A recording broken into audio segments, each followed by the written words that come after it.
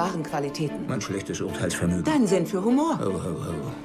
Euer Majestät. Mr. Churchill, ich ersuche Sie, das Amt des Premierministers zu übernehmen. Er ist ein Schauspieler, verliebt in den Klang seiner Stimme. Seine Majestät sitzt auf dem Thron und wartet. Und ich sitze hier auf meinem Thron. So leid es mir tut, ich kann mich nur um eine Scheiße kümmern. Eine Flasche Champagner zum Lunch, eine weitere zum Dinner.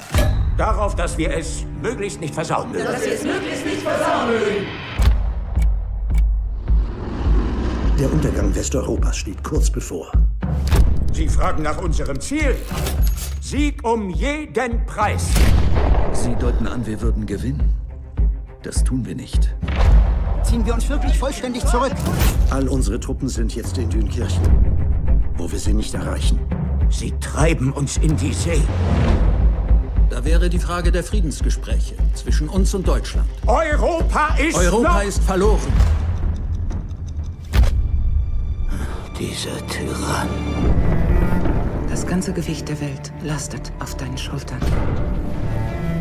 Wie viele Männer werden überleben? Wenden Sie sich ans Volk. Sagen Sie ihnen die Wahrheit. Was wir entfachen müssen, ist ein heldenhafter Widerstand. Bis zum Ende zu kämpfen hat nichts Patriotisches. Jetzt ist die Zeit zu verhandeln. Wann wird man das endlich begreifen?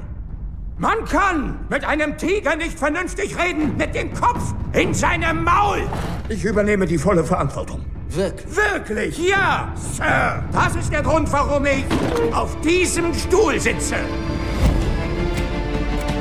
Sei du selbst. Ich selbst. Wir werden an den Stränden kämpfen. Wir werden an den Landungsabschnitten kämpfen. Wir werden auf den Feldern kämpfen. Und auf den Straßen.